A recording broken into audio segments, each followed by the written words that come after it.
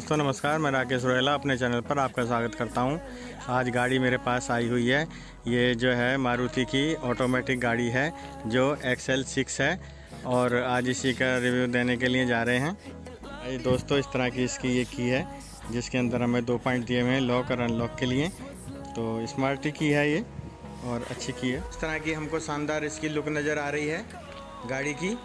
और ये हम जो देख रहे हैं, ये हमारी इसकी ग्रिल आ गई है। और उसके बाद ये हमारा लोगो आ गया, ये हमारा इंडिकेटर आ गया। नीचे हमको ये मिल जाता है इसके अंदर फोक लैम्प ये सब एलईडी सेटअप है पूरा, हेडलाइट इसकी पूरी एलईडी है। और ये हमारे इस तरह से इसके हमें वाइपर मिल जाते हैं। इसमें हमको 16 इंची के डायमंड का डलाई व्हील मिल जाते हैं, कुछ इस तरह के। फिर उसके बाद हम थोड़ा ऊपर आते हैं O R B M turn indicator के साथ हमको यहाँ मिल जाते हैं, कुछ इस तरह से। और हमको इसमें नीचे कैमरा मिल जाता है, जो 360 डिग्री कैमरा है। और ये शानदार लुक हमको जो साइड से नज़र आ रही है इसकी। क्रोन डोर हैंडल हमको रिक्वेस्ट सेंसर के साथ मिल जाता है। इस तरह का, फिर हमको ये रूफ रेल्स इस तरह की रूफ रेल्स नज़र आ रही है। शानदार है, काफ़ी बड़ी है ये भी। फिर ऊपर हम यहाँ आ जाते हैं, हमको ये सार्फिन एंटेना मिल जाता है। इस तरह का कुछ स्पॉलर है। और ये हमको टेल लाइट मिल जाती है इस तरह की। नेक्सा की बैजिंग मिल जाती है। कुछ इस तरह की शानदार लुक हमको नज़र आ रही है। हम देख रहे हैं बैक में। ऊपर हमको ये जो मिल, इसका वाइपर मिल जाता है। फिर यहाँ पर हमको लोगो कुछ इस तरह से हमारा ये कैमरा आ गया है। और ये बैजिंग गाड़ी में सेंसर आ गए हैं। ये हमको दिखाई दे रहे हैं। गाड़ी का बोट स्पेस कुछ इस तरह है, जिसमें हम दो सूटकेस तो रख ही सकते हैं। बाकी नीचे भी छोटा स्पेस दिया हुआ है यहाँ भी सामान रखा जा सकता है।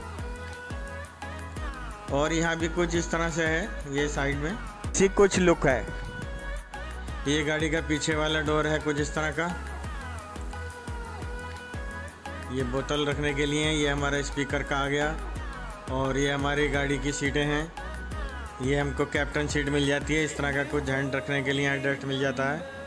और ये हेड रेस्ट हो गया।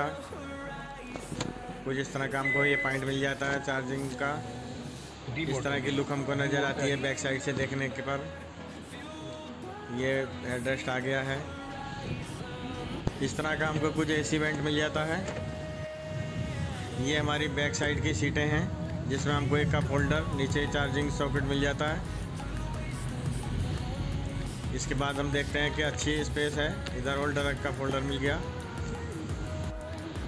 ये ऊपर हैंडल आ गया गाड़ी का पकड़ने के लिए। सामने हमको क्रोम हैंडल दिखाई दे रहा है और ये हमारे सारे कंट्रोल आ जाते हैं विंडो को ऊपर, शीशे को ऊपर, नीचे करने के लिए। ओ आर का कंट्रोल भी यहीं पर है। और फिर हम इसको, ये पुश बटन स्टार्ट गाड़ी का हमारा यहाँ मिल जाता है। ये हमको लाइट के कंट्रोल मिल जाते हैं। आईडी मिल जाता है इसका। डिजिटल एमआईडी है। और हमको ये सारी लुक इस तरह की नज़र आ रही है। ये हमारा नौ इंची का ऑटो एप्पल कार प्ले के साथ हमको टच स्क्रीन मिल जाता है। नीचे हमको ये कंट्रोल मिल जाते हैं, सब एसी कंट्रोल हैं ये। नीचे हमको ये वेंटिलेटर सीट का कंट्रोल मिल जाता है चार्जिंग पॉइंट मिल जाता है, यहाँ का फोल्डर मिल जाते हैं दो। ये हमको ऑटोमेटिक गेयर लीवर मिल जाता है। और इसके बाद हमारा ये आ गया हेड रेस्ट आ गया, इसके अंदर भी काफ़ी स्पेस है। इसके बाद हमको ये ग्लब बॉक्स मिल गया, इसके अंदर भी स्पेस काफ़ी अच्छा है।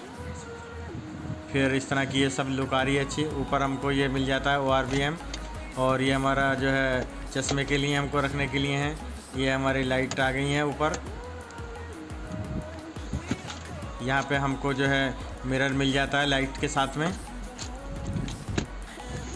इस तरह इधर भी मिल जाता है, दूसरी साइड में भी। 1500 सीसी का हमको इसमें इंजन मिल जाता है और 102 बीएचपी की पावर मिलती है। ग्यारह, तीस से सत्रह लाख तक इसकी ऑन रोड कीमत है। वीडियो देखने के लिए धन्यवाद सो मच